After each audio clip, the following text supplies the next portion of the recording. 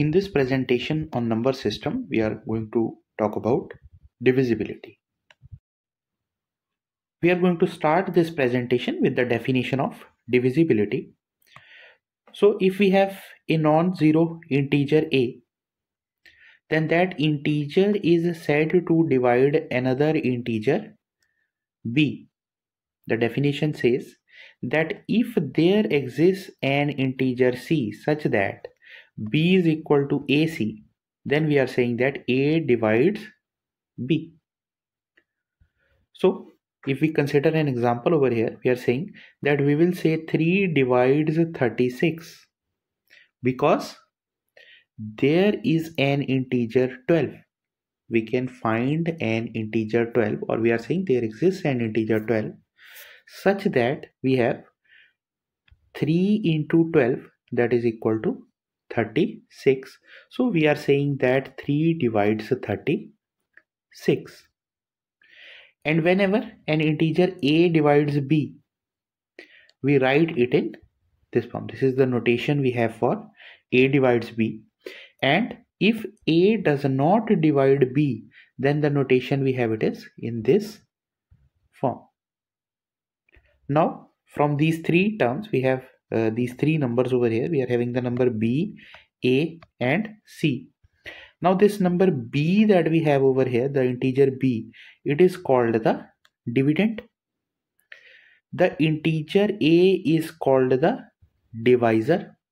And the number that we have obtained this number c we are saying it is known as the quotient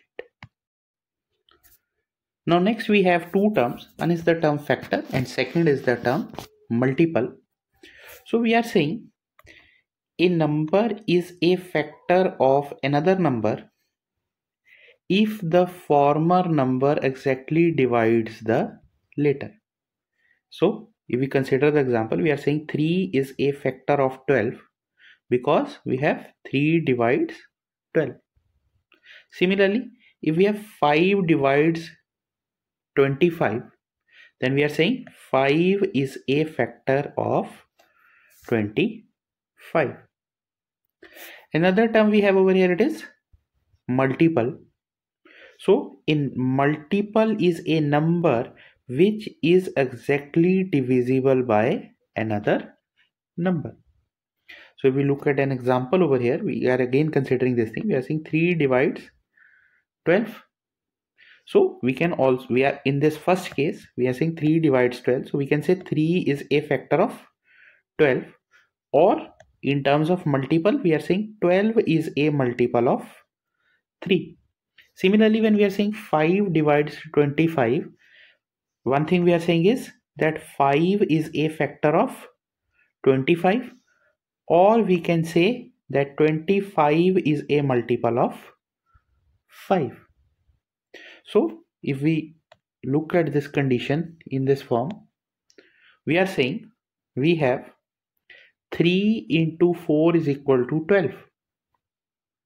So if we are talking about this number 3, we are saying it is a factor of 12. When we are talking about this number 4, we are saying it is a factor of 12. Or we can say this number 12, it is multiple of 4 because we are saying 3 divides 12 and uh, 4 divides 12 so 12 is a multiple of 4 and 12 is a multiple of 3 so these are the terms that we use. It is these two terms the factor and the multiple. Now the next terms we have they are even numbers and the odd numbers. So even numbers they are all integers which are multiple of 2 they are called the even numbers. So multiple of 2 means if we are saying 2 multiplied by 0 we obtain it is 0 if we are talking about 2 into 1 it is 2 2 into 2 it is 4 2 into 3 it is 6 we can continue in this way. Or we are saying 2 into minus 1 it is minus 2 we have 2 into minus 2 it is minus 4 2 into minus 3 it is minus 6 so we are saying the multiples of 2 means we are having the number 0 2 4 6 and so on. Or it is minus 2 minus 4 minus 6 so on. So all these numbers which are multiple of 2 they are called the even numbers. Next we have is odd numbers. So all the integers which are not multiple of 2 they are called the odd numbers so which integers are left from this list? We are saying these are the integers which are multiple of 2 now the integers which are not multiple of 2 they are 1 3 5 so on. And then the negative integers we have they are minus 1 minus 3 minus 5 and so on. So these are the definitions for even numbers and odd numbers. Now the next term we have it is prime number and composite number so before we look at the definition of prime and composite numbers, uh, let us list the factors of certain numbers. Suppose I am talking about the factor of number 1. So there is only one factor, it is 1. When we are talking about factors of 2, we have two factors 1 and 2. Factors of 3, we have 1 and 3. Factors of 4, we have 1, 2 and 4. Factors of 5, we have it is 1 and 5 factors of 6 we have it is 1 2 3 6 factors of 7 we have it is 1 7 factors of 8 we have it is 1 2 4 8 now if we look at the number of factors over here we are saying corresponding to the factors of 2 there are two factors. Corresponding to this number 3 there are two factors. Corresponding to this number 5 we have two factors. Corresponding to this number 7 we have two factors. So all these natural numbers that have exactly two factors. One is the number 1 and another number is the that number itself. These numbers are called the prime numbers. So if we list the prime numbers they are 2 3 5 7 11 13 17 19 23 and so on now the definition now we come to the definition of composite numbers. So it is important to note over here that we are not saying the numbers which are not prime are composite. The definition for composite numbers is that all natural numbers which have more than two factors they are called the composite numbers. We are saying prime numbers are those which have exactly two factors and composite are those which have more than two factors. So when we are saying more than two factors we can see that this number 4 this number 6 this number 8 all these numbers they have more than two factors. So the composite the list of composite numbers we have it is it includes 4 6 8 9 10 12 and so on. Now and interesting thing that we can note over here is that 1 is the number. Look at this number 1 over here. It has exactly one factor. This number 1 has exactly one factor. So we are saying that 1 is neither a prime number nor a composite number. Because prime numbers are those which have exactly two factors Composite are those which have more than two factor, but 1 is a number which has exactly one factor and that is why it is neither a prime number nor a composite number. Now next we have is the identification of primes. So identification of prime means we are going to find whether a given number is a prime number or not. Suppose I am talking about a number say 571 and I have to check whether this is a prime number or not. So one procedure is that I am going to check whether 2 divides 571 then I will check 3 divides 571 then I will check 4 divides 571 then I will check 5 divides 571 or not and I will continue in this way to find the factors of this number 571 so this list will be a this procedure this will take a lot of time.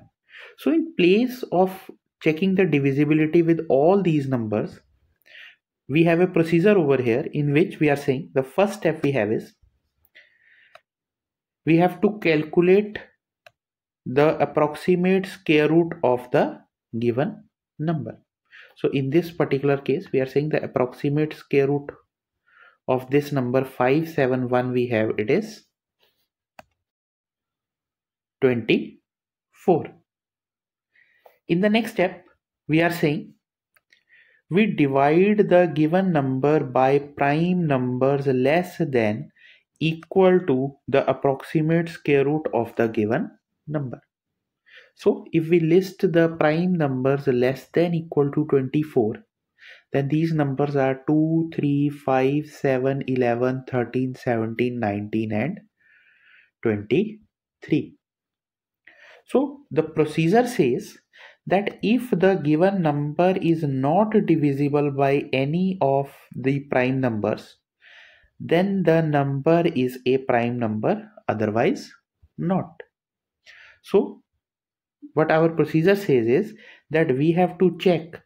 In place of checking the divisibility with all these numbers we have to check the divisibility of the number 571 by 2 we have to check whether 2 divides 571 we have to check 3 divides 571 we have to check 5 divides 571 we have to check 7 divides 571 and if you check the divisibility with all these primes in this particular case you will you can check that 571 it is not divisible by any of these prime numbers.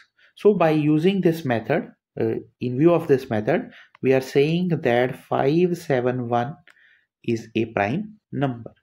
And if 571 is divisible by any of these numbers if any number is there which is divisible by any number any prime number which is less than equal to the approximate square root of that number then that given number will not be a prime number.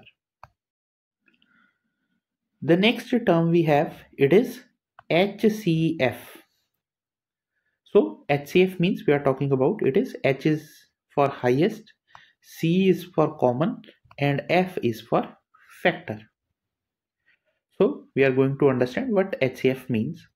So suppose we are considering the numbers, we are talking about the numbers 8 and 12. So if I list the factors of 8, we have the factors are 1, 2, 4 and 8. If we list the factors of 12, then we have they are 1, 2, 3, 4, 6 and 12. Now what this name suggests, we are talking about the factors then we are talking about the common factors. We have we are talking about common factors. Now if we calculate the common factor of these two the common factors we have over here this one is common over here two is common over here this four is common over here. So we are saying the common factors we have over here they are one two and four. Now we have calculated factor factors of the number. We have calculated the common factors. Now we have to see or find the highest of these common factors. So we are saying the highest of all these common factors it is 4 so for any two given numbers we can adopt this procedure to find the highest common factor. The next term we have it is the least uh, LCM LCM means least common multiple. Now again, look at this term over here. We are talking about multiple. If suppose again I am considering the two numbers, one is this number 8 and the one is the number 12. So first of all, we are going to find the multiples or write the multiples of 8. So multiples of 8, they are 8, 16, 24, 32, 40, 48, 56, 64 72 80 88 and 96 if we write the multiples of 12 multiples of 12 we have there 12 24 36 48 60 72 84 96 108 and so on. Now we have calculated the we have written over here the multiples of both the numbers 8 and 12 we want to find the LCM so next step we have is we have to find the common multiples. Now if we look at the common multiples over here it is 24 in this list. We have 24 in this list. The first common multiple it is 24 then we have 48 it is common multiple. Then we have 72 it is common multiple. Then we have 96 it is also a common multiple so we are saying the common multiples of 8 and 12 they are 24 48 72 96 and we can find some other common multiples also. Now next what we have to calculate? We have to calculate the LCM it means we are saying we have to calculate the least common multiple that is the out of these common multiples we are interested in the smallest value so the smallest value over here it is 24 so we are saying that the least common multiple of 8 and 12 it is 24 now the next term we have it is co-prime or relatively prime numbers. So we are saying if the HCF of the given numbers it is 1 then they are known as co-prime numbers. And it is important to note over here that the given numbers they need not be necessarily prime. So suppose I am talking about the number 4 I'm talking about the number 9, I'm talking about the number 12, and I'm talking about the number 3. I'm considering these numbers. If we list the factors of 4, they are 1, 2, and 4. If we list the factors of 9, they are 1, 3, and 9. If we list the factors of 12, they are 1, 2, 3, 4, 6, and 12. And the factors of this number 3 we have. Factors of number 3 they are 1 and 3. So clearly the number 4 this number 9 this number 12 these three numbers these are composite numbers and this number 3 it is a prime number now if we calculate the HCF of 4 and 9 the common factor over here between 4 and 9 it is only 1 so HCF over here we have it is 1 so by definition of co-prime or relatively prime numbers, we are saying 4 and 9 are co-prime. Similarly, if I am talking about the numbers 4 and 12 and I calculate the HCF of these two numbers 4 and 12, both 4 and 12 they are composite numbers and we are saying their HCF it is equal to 4. So what we obtain that 4 and 12 they are not co-prime, they are not relatively prime. So we are saying in this first case we have both 4 and 9 they are composite but these number they are co-prime as a pair they are co-prime numbers or they are relatively prime to each other. Next we are saying when we are considering the number 4 and 12 both of these number they are composite numbers. And 4 is not relatively prime to 12. Next we are considering say the pair 3 and 12 so we obtain that the HCF of 3 and 12 we have it is equal to 3 now this number 3 we have it is prime. This number 12 it is composite. But if we look at this pair 3 comma 12 we are saying 3 and 12 they are not relatively prime or they are not co-prime. Now the next term we have it is twin prime numbers. So twin prime number they are defined in this way. We are saying if the difference between two prime numbers is 2 then the numbers those two prime numbers they are called the twin prime numbers so to find the twin prime numbers first we list the prime numbers. The prime numbers we have they are 2 3 5 7 11 13 17 19 23 and so on. Now suppose i am talking about the pair 2 and 3 and I calculate the value 3 minus 2 the answer I obtain it is equal to 1 next I am considering the next two prime it is 5 and 3 and I am calculating the value of 5 minus 3 the answer I obtain it is 2 then corresponding to the value 7 and 5 we have 7 minus 5 is equal to 2 then corresponding to 11 and 7 we have 11 minus 7 is equal to 4 then corresponding to this pair 13 and 11 we have 13 minus 11 is equal to 2 and likewise we can continue in this way. And what we obtain is that the difference between 3 and 5 the difference between 5 and 7 the difference between 11 and 13 all the difference between these two pairs of number it is exactly 2 so these kind of numbers they are called the twin prime numbers